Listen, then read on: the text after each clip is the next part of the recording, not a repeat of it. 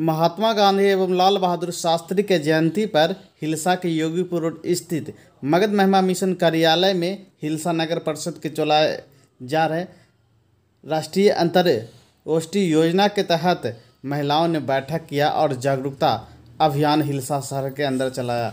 महिलाओं ने कहा कि आज़ादी का अमृत महोत्सव कचड़ा अलग करो, अमृत दिवस के रूप में मनाया जा रहा, जो कि दो अक्टूबर से शुरू हो गया है और हिलसा में विभिन्न कार्यक्रम किया जाएगा। इस मौके पर इस कार्यक्रम की अध्यक्षता कर रहे राधा रानी एवं कोषाध्यक्ष रेखा त्यागी ने किया है और हिलसा शहर के विभिन्न जगहों पर जाकर जागरूकता रैली भी निकाला है, जहाँ लोगों को साफ़ सफ़ाई रहने के लिए आग्रह किया गया है।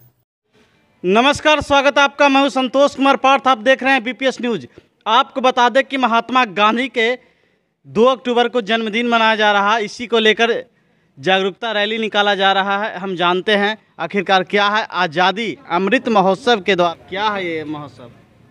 सर कचरा को साफ़ करना है भारत को स्वच्छ बनाना है अपने गाँव गली मोहल्ला सबको स्वच्छ बनाना है यही हम लोग का नाम। सफ़ाई साफ़ सफ़ाई करना है। जी।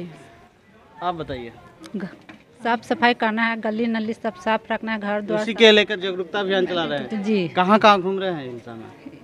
Hilsa Patel Nagar station road.